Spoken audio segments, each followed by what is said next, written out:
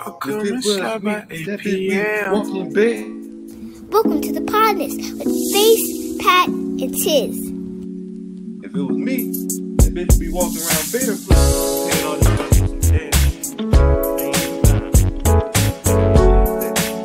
It's pop show.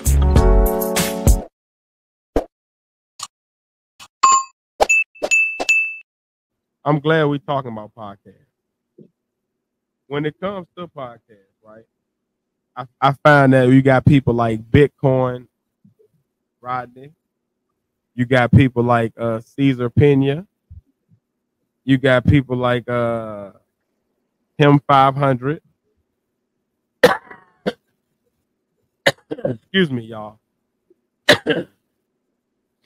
um, what do y'all think about podcast payola? What do y'all think about having guests on that like we know are full of shit, but we don't ask them the questions that we really want to ask them because they paid us to be there? Well, let me go ahead first. I feel like this. You can have anybody on, take the money if you want to, but you have a responsibility to yourself and your own platform to question anything that comes out of anybody's mouth on your platform. Because at the at the end of the day, whatever said on your platform, you have a responsibility for, or some responsibility for. So before somebody gets on your platform and says some bullshit, just because they paid you, hey, it's a way to question something and still get the same answer by asking a question in one way than another. And get the same answer. Police do it to people all the goddamn time. All you gotta do is use your brain. Sure, they paid you not to ask them this question. Okay, I can ask you that question a different type of way. They do it on the SATs all the time. But if your main goal is to get paid and not give a fuck about what you put out, you can take your money. Your platform might be tarnished and you might be seen a certain way, but that may be what you're looking for too.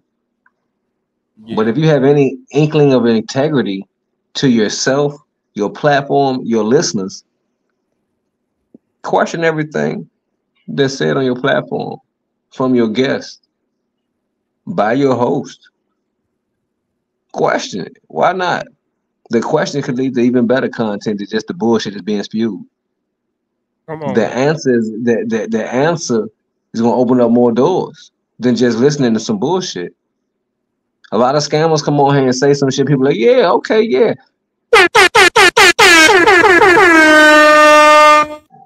Ask them how many times they've tried their own method and how many times did it take them to try that before it worked. Ask them, do they have any people that saying it don't work? Ask them about the negative things. All I hear is the positive things about what you're saying, but wh- wh- what's the other side of it? Somebody tell you there is no other side oh, up is instantly something wrong. Because it's something fucked up, or so it's a bad side to everything in life. That's why they say you got to take the good with the bad. But when someone never wants to tell you the bad, the bad is fucked up. Real fucked up. Amen. Mhm. Um, yeah, I, I definitely agree with you there. Um, I think one of the biggest issues in podcasting isn't that it's saturated, is that it it's full of people who are able to pay to be on your podcast, right? Like, so I think that we need to get rid of the podcast payola. And if people don't know what podcast payola is, uh, it's basically the situation where a podcast is taking money for this person to be on their podcast so they don't ask the questions that are necessary. And I think that's the situation with a lot of podcasts. I think there's a lot of people who want to be celebrities who may have taken a picture with celebrities or whatever the case may be, but they're not necessarily qualified to come on your podcast and talk about the thing they're talking about. So, like, if you're not a financial advisor, I don't really want to hear your finance your financial advice, but I'm to listen to you because this podcast that I do rock with has put you on there. So you get scammers and grifters and people like a Brother Polight that's on the Breakfast Club or brother or him 500 that's on Earn Your Leisure or um even a Umar Johnson that's on Joe Budden.